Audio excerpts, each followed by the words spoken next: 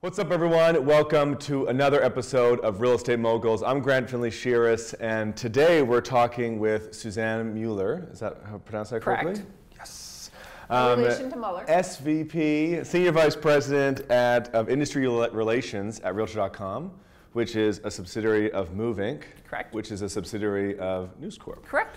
Um, so for those of you who are new to property tech, whether you're investors or startup founders and you wonder what these big organizations are, why don't you give us a little background as to um, how big Move Inc. is, what companies inside of it, and the connection to News Corp and, and how the whole organization is set up.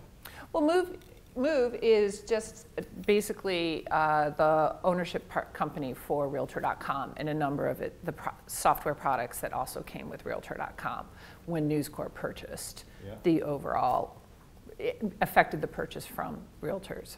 Why do, so, so what was the original reason why News Corp purchased all that stuff? Well, you know, they'd been in the business for years in Australia with REA, and it made sense. I mean, they're very much about media, online content, and um, it was a very natural strategic step for them. Okay, and discuss some of the, co- the companies under Move Inc. that are with Realtor.com. Oh, everybody, I'm sure, is very familiar with them. We have Top Producer, we have FiveStreet, we have uh, ListHub. So all of those are part of the package of Move Inc. And when you think about other like other services, other technologies that maybe you guys don't have in your portfolio that you're thinking about, because maybe there's again there's investors or tech companies watching saying, hey, um, how what what's next for the fold of Move Inc. Do you guys have anything uh, in your mind as stuff you want to incorporate? Well, uh, we just had uh, went through uh, acquiring a company that it fits a big piece of our strategic puzzle, and that's OpCity, which is a uh, managed services company. So we're able to extend the product we offer um, around leads, and you can get, you know, leads at the agent level, and now you can get leads, uh, managed leads, if you will. So. Extension you, of ser- you guys yeah. generate the leads, then you help sift and sort and work them so they're even higher quality and ready to go for Right. the agent. Right. Um, and and then what's the stuff next? Like what what's next? Have you guys thought about new ideas of what's the next Oh, sure, we have a ton. you want to Well, go after? I think, of course, everybody's looking at product extension in the business, mortgage, um, all around all of that area. So it's just going to see where the thing where it fits with our business model best. Um, right now, we're really foc focused on turning out uh, really high-performing tools for agents to continue to decrease pain points and the friction points between them and their clients. Like we have a great uh, online app we just launched, Realtor.com Professional app.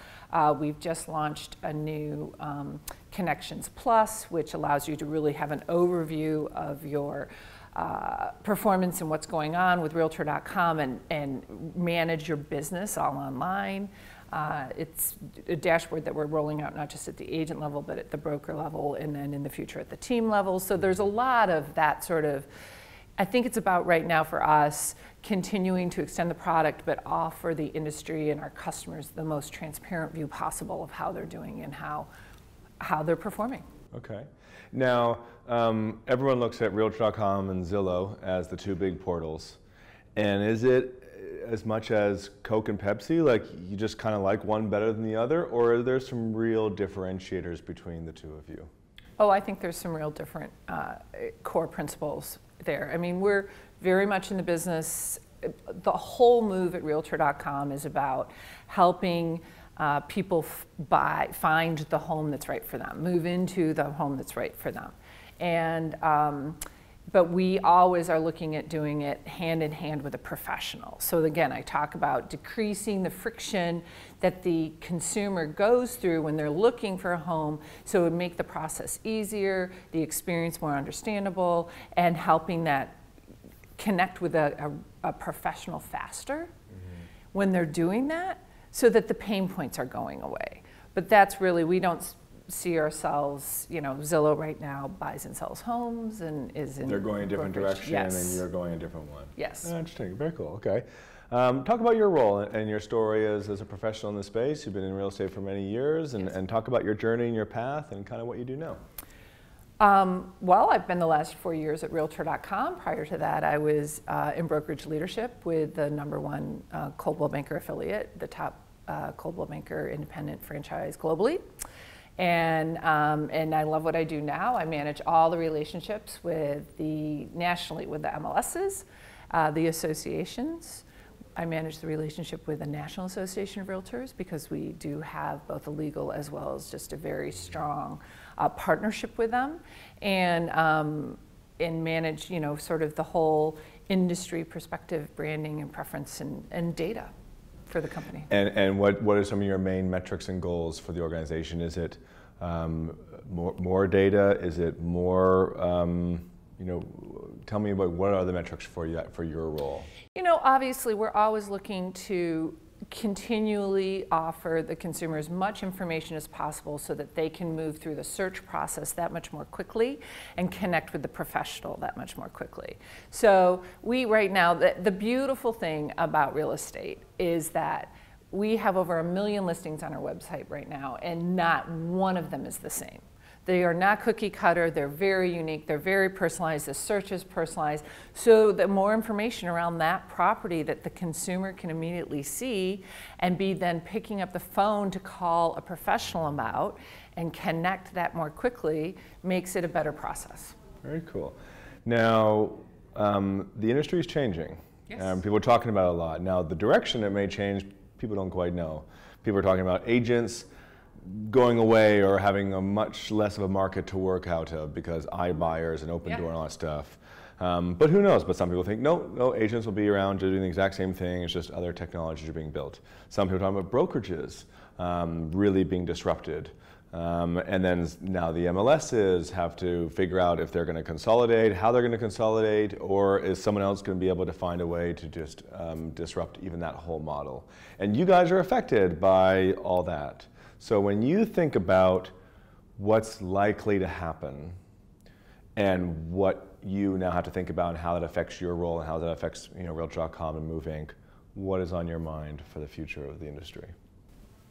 Well, I, I, let's go back to what I just said. I mean, there's no single listing that this is the same. It's really, you can't really commoditize the process for a couple of reasons. Each home is unique. The experience of finding a home is so personalized. And there has been years of real estate professionals building up one on one relationships with clients to help them through that process. It's highly emotional, it's highly charged. Um, so I don't see the role of the professional going away anytime soon. And they bring a ton of value to the process. Like the value of did the school levy pass? Is there one coming up? What's going, is there a water main going in? What's going on in the, the municipality around the property?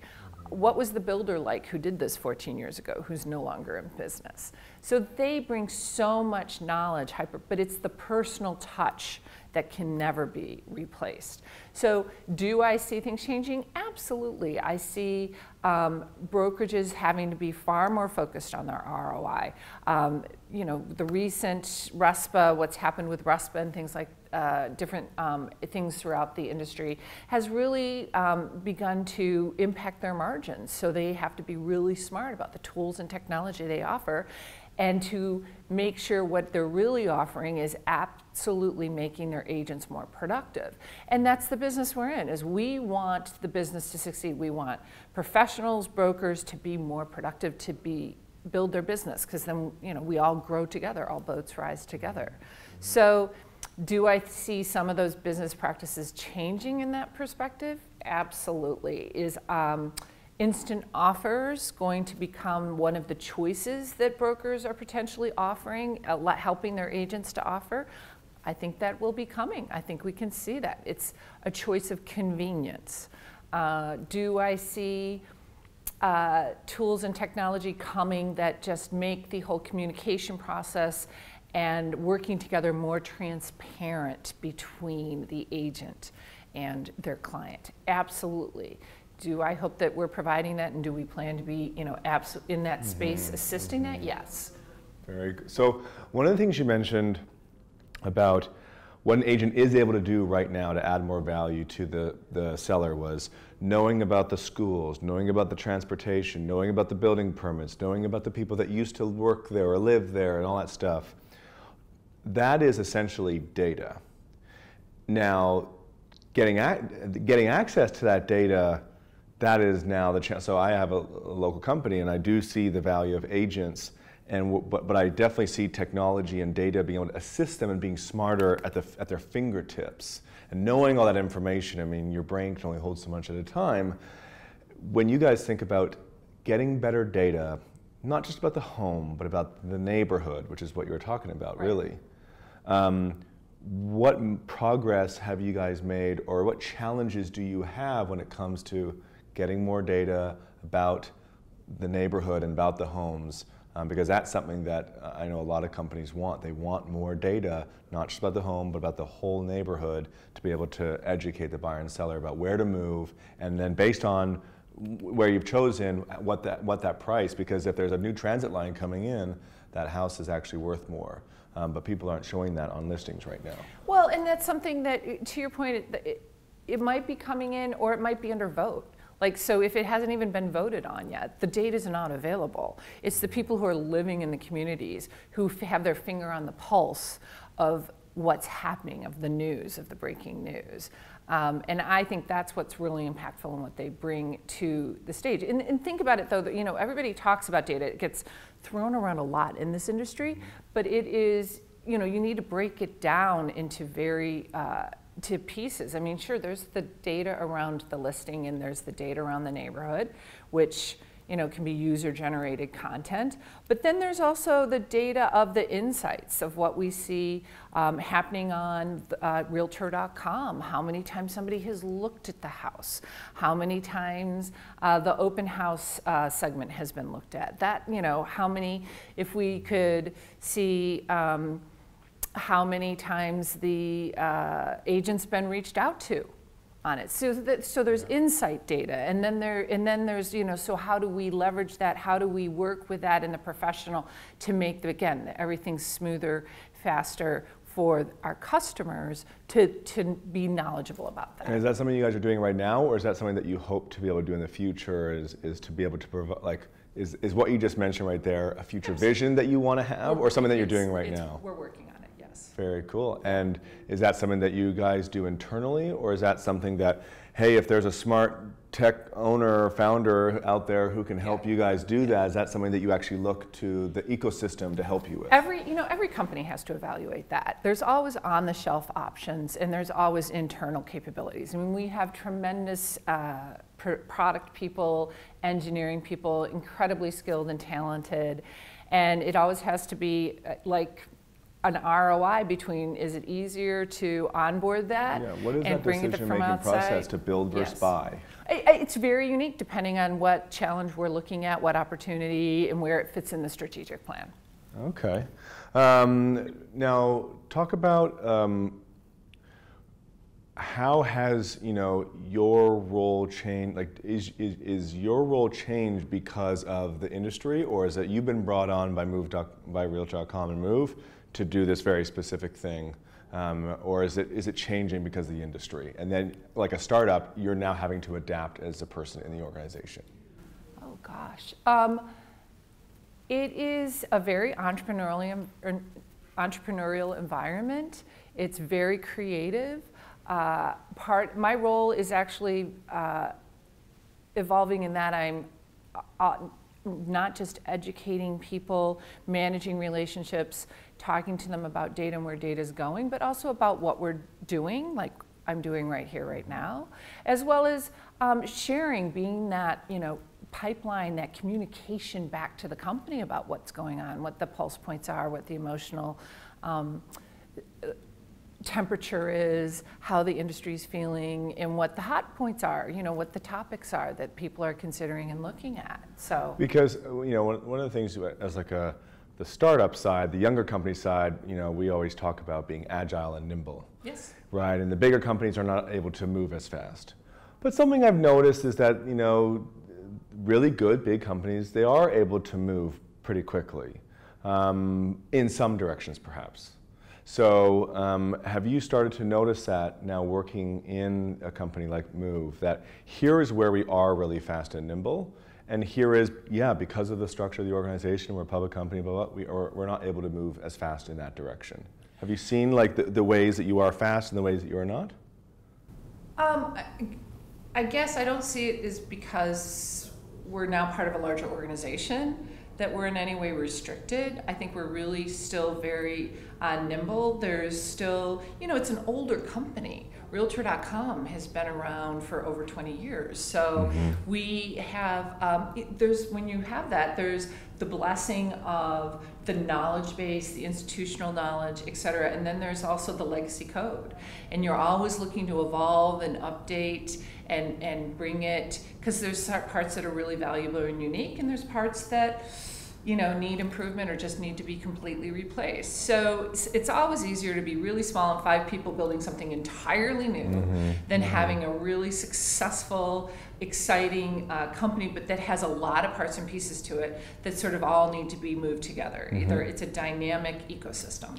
So, but I think people, I think more importantly, they th- we think very nimbly, and there are things we are doing very quickly in response to what we're seeing in terms what customers want, what consumers want online, and that all is definitely being recognized. Because I know, you know, investors and, and people in the tech ecosystem, they look at the big players and they go, hey, what's our opportunity to get in to provide value to the marketplace?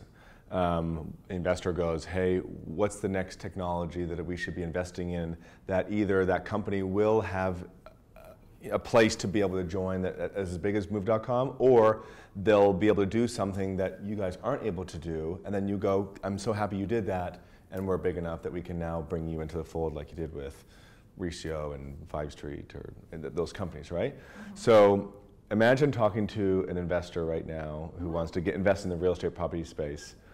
What are some of the technologies and what are some of the services that you think are hot and are going to be winners and something that, that if they start putting their funds towards, it's going to move the industry forward? You know, I don't think it's any one technology. I think you have to flip it around. That's like saying, what's your favorite tool? Um, do you like the leveler or the immediate, you know, laser measure or whatever? Yeah. Um, I think it's more about what's the pain points again. And it really has to do with um, what is what is the consumer really looking for? It's an you know interactive experience. Quite frankly, I think you know anything that increases communication or a sense of being closer to the professional during the process and having that support mm-hmm. is a need. And anything that who knows what's going to be coming, but anything that actually provides that need makes them.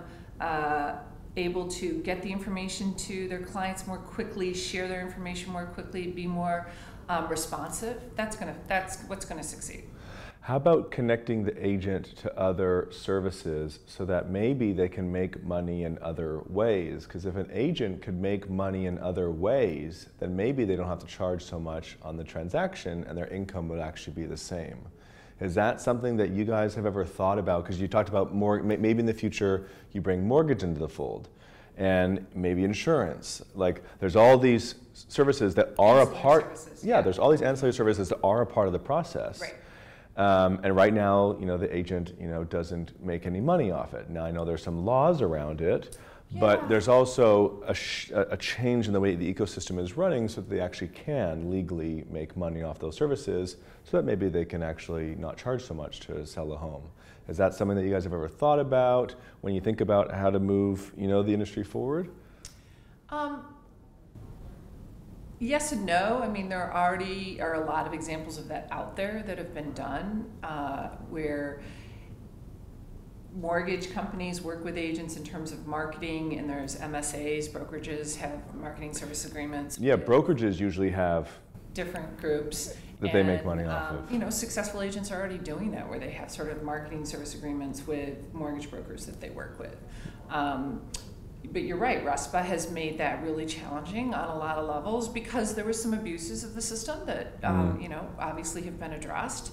And people just need to be fully informed of the services they're going to use and, and they want to know that they're getting the best possible. So, um, we, you know, I think we are looking at it, and there's obviously some out there that already exist. Uh, you never know. Yeah.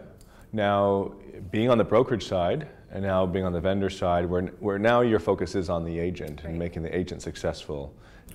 Agents, brokers, yes. What do you think about that, that brokerage business model? Because you can now maybe have some, uh, a new vantage point to look at that industry and their value proposition and how they should change so that they provide value to the agent and to the homeowner so that they deserve, you know, to be in the middle. Is there any um, Yeah, well, thoughts think, you have know, on their model? Back, yeah, I think it goes back to what I said earlier is that, you know, uh, broker owners, broker owners and need to really be business managers, business leaders. And it's not that they're not now, but it means that they're going to have to be looking even more, you know, closely at their ROI, which includes in transparency into what's really happening in their brokerages and where the, um, the return is coming from and be that you know i think in the past one of the things we certainly did at my previous brokerage is we thought we were being successful and we had a good roi when we saw a high adoption of a tool that we provided to uh, agents and our you know our uh, brokers. But the reality is maybe it's not adoption because maybe it's being adopted by those who aren't your top producers. So how do you so i think there needs to be a shift in evaluation of you know what am i offering? What is its return to the broker as well as the agent? And and looking at the different measurabilities uh, perspective around that. So it, it is and that's why that's the other thing like offering being able to offer more. Instant offers are not new. The East Coast, there were brokerages on the East Coast who were doing it years ago as sort of a guarantee. So, okay, now how do we work that into what we put out in front of people um, when they're sitting at the listing presentation th- that then allows us to compete rather than lose the listing? Does the broker take on the financial li- liability with that? The way the offers you know 20 years were set up does are they partnering with somebody? I think that's something that we're going to be seeing or people are definitely going to be exploring but those are the smart broker owners right? They're thinking ahead. They're Mhm. thinking forward about okay this is what's happening this is uh uh, what's being presented and they've been hearing oh it used to be we'll go in um, i've met with I'm coming up with just big brands right now. Coldwell Banker. I've met with Keller Williams. Um, I've met with local, uh, the local brokerage, yeah, yeah. independent, Uh, and I meet with them on Monday, and you'll know Tuesday. And now there's what they're hearing is, oh, I've met with you, and I hear from the instant offer company. Pick one, who knows? Yeah, Opendoor, yeah. and I- I'll let you know on Monday. They're not doing the whole agent search again like three agents necessarily. If they're in that target for instant offers, they've got an agent and they're waiting to hear about an instant offer, and those are their only two choices. Mhm. So it makes total sense for the broker to say, okay, we can do an instant offer. Let's figure that out. But again, so it's about expanding the product that they, they can help their agents uh, offer, making sure they have the tools that make them most effective, really deciding what they want to measure in terms of productivity and ROI, and then watching those margins really closely. Now, this is definitely to your advantage because of Realtor, the, the, the sociology of, of who, what sites do people go to to search for homes? Yeah, Zillow and Realtor.com. Those are the big two. yeah. And I guess Redfin is now up there, sort of. Redfin? Or not? Yeah. so, so, um, so you got, you got, you got, you two. Now, IDX and real estate agents having their own websites, they were like, hey, no, you don't need, you don't need to go to Realtor. I mean, this is what agents say. You don't need to go to Realtor.com. I have all the listings on my website. You can just go to my website. You can search for homes. And I can, in my head, generate some leads of people who are searching for homes. Now, that really hasn't taken off that big compared to Zillow and Realtor.com. You guys are where all the traffic goes. So when I think about iBuyers and brokerages having their own little iBuyer, I wonder if the if it'll be the same thing as IDX websites. Sure, you, you all can have iBuyers, but everyone's going to go to one or two players or three. Um, you know, it's a potential. I just don't, um, we're not interested in getting in the business of writing offers or transaction, closing transactions, doing transaction paperwork, or, uh, that isn't something Realtor.com's interested in. Obviously, some other portals might be Yeah, involved in yeah. that, but, um, it could be. I mean, it, but then again, there's a lot of REITs and a lot of investor pools that are out there, and I don't know. I, I don't see it necessarily rolling up to a duopoly, but you know, Right, right. absolutely an option.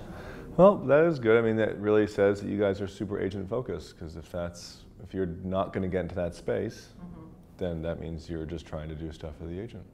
That's good. Um, how can people get in touch with you if they want to get in touch with you, learn more from you, get to know you, and work somehow work with Move? App, oh, Suzanne Mueller, Suzanne.Mueller at Realtor.com. Feel free to email, or uh, I'm on Facebook, and I have all of my I have my profile with all of my social media channels you can use to get in touch with me. So Cool. yeah, Well, hey, as always, subscribe to the show if you haven't already so you can learn more from real estate moguls like Suzanne. Thank you so much thanks, Grant. for being on the show. Um, that was really great. I hope you guys learned a ton from this veteran in the industry.